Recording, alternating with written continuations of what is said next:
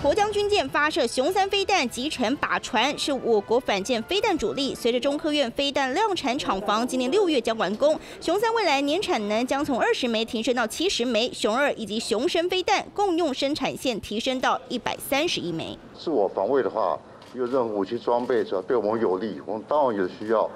啊，去考量它的不管是数量啊，或未来这个啊运用的方法。专门防治战机打巡弋飞弹的防空飞弹“天宫三型”产能提升到九十六枚，陆海射歼二飞弹系统则提升到一百五十枚。反制作战武器空对地万箭弹、无人攻击载具也渴望产能极大化。这对我们快速的建构台湾刺猬岛。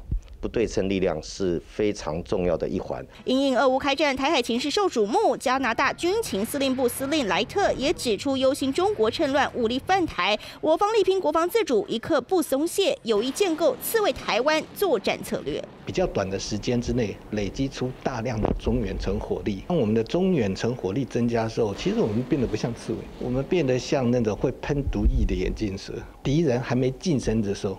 它就可以用毒液进行中远程的攻击。台湾防空飞弹密度世界排名第二，仅次于以色列。再加上各类飞弹，未来数量达到高峰，我国提升军备，展现捍卫台海决心。三立盘点华视盘中，看到。